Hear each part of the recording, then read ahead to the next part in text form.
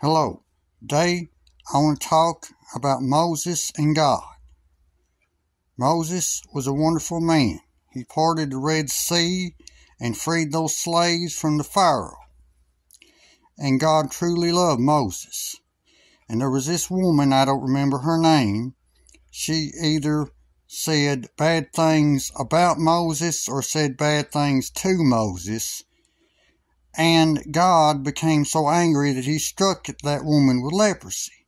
He turned her into a leper for one week. And this is what God told that woman. He said, I normally don't come right out and talk to people like I'm talking to you now, but I do to Moses because he's that important. And that shows just how much God loved Moses. He normally didn't and still doesn't come right out and talk to people, but he did to Moses because Moses was that important. Moses was a wonderful man. And now he's living the good life in heaven. Well, this has been my video. Thanks for watching.